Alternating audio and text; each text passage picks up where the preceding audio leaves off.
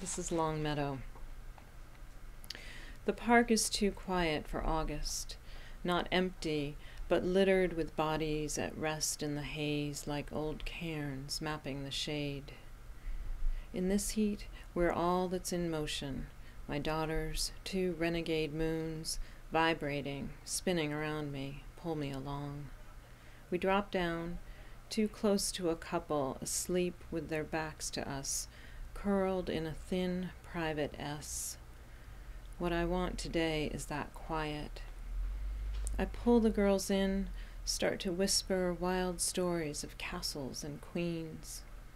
I don't want to bother the lovers who share this brief shade, but the moons slip back out into orbit, flushed, sweating, too loud, uncontained.